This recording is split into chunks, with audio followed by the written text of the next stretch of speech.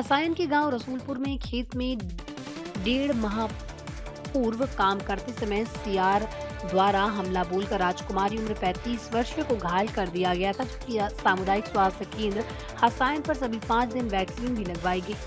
मगर वैक्सीन लगने के बावजूद भी महिला की मौत हो गई। पहले महिला की हालत बिगड़ी जिससे अलीगढ़ इलाज के लिए ले जाया गया, जहाँ से उसे दिल्ली रेफर कर दिया गया। वहाँ पर डॉक्टरों ने इस मृत्यु घोषित कर दी। इसके बाद महिला का शव देर रात गाँव में लाया गया, जिसे परिवारजनों का रो रो कर बुरा हाल है। एक सप्ताह पूर्व इंजेक्शन लगने के बाद गाँव बाढ़ में एक युवक की मौत हो गई थी। हसायन से सुरेश सरता की रिपोर्ट।